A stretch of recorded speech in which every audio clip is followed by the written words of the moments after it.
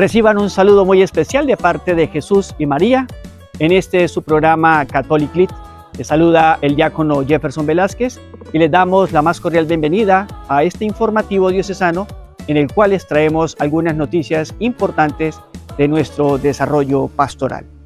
Con la participación de más de 150 personas que peregrinaron a la parroquia San Isidro Labrador para ganar la indulgencia plenaria, se dio inicio a la peregrinación de este mes. En el marco del año jubilar, se están realizando las peregrinaciones parroquiales para ganar la indulgencia plenaria. En esta ocasión, la Vicaría Foránea San Pedro Apóstol peregrinó a la parroquia penitenciaria San Isidro Labrador de Puerto Santander. Se vivió este gran encuentro eucarístico con un espacio de oración, de alabanza y de reconciliación con Cristo.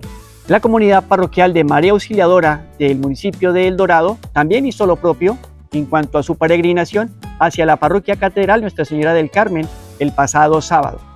Movidos por un verdadero espíritu de penitencia y caridad, la comunidad parroquial de María Auxiliadora del municipio del Dorado peregrinó a la Catedral Nuestra Señora del Carmen, participando de los diversos oficios, ganando la indulgencia plenaria en las condiciones habituales, confesión sacramental, comunión eucarística y oración según las intenciones del Santo Padre.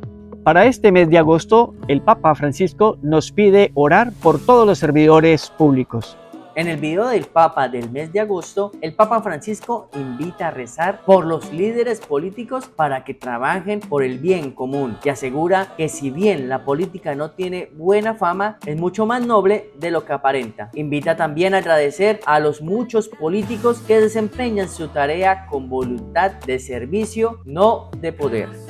Es una de las formas más altas de la caridad, porque busca el bien común. Hablo de la política con mayúscula, no la politiquería. Hablo de la política que escucha la realidad, que está al servicio de los pobres, no de la que está encerrada en grandes edificios con largos pasillos. El 6 de agosto celebraremos la fiesta de la transfiguración del Señor, hecho que encontramos en los evangelios sinópticos. Mateo, Marcos y Lucas nos narran este acontecimiento.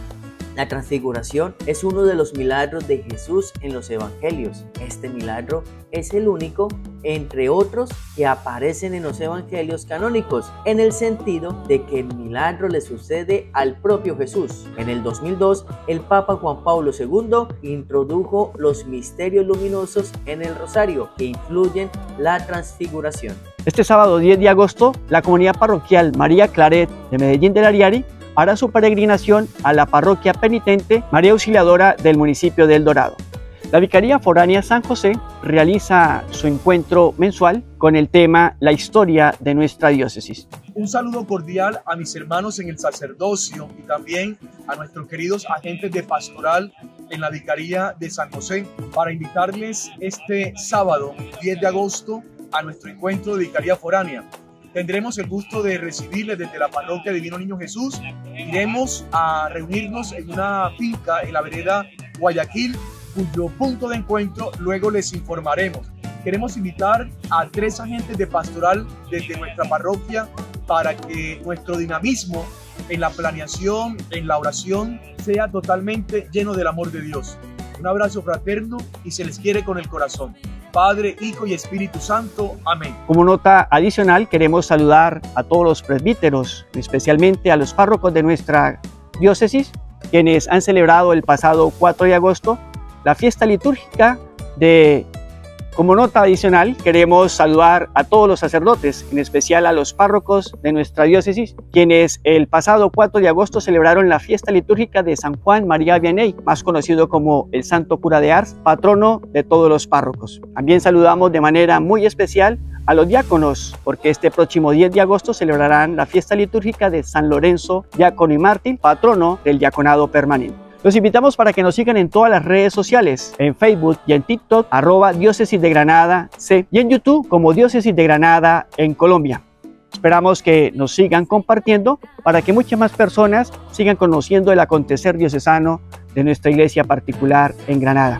El Señor y María Santísima les acompañen hoy y siempre. Amén. Gracias Señor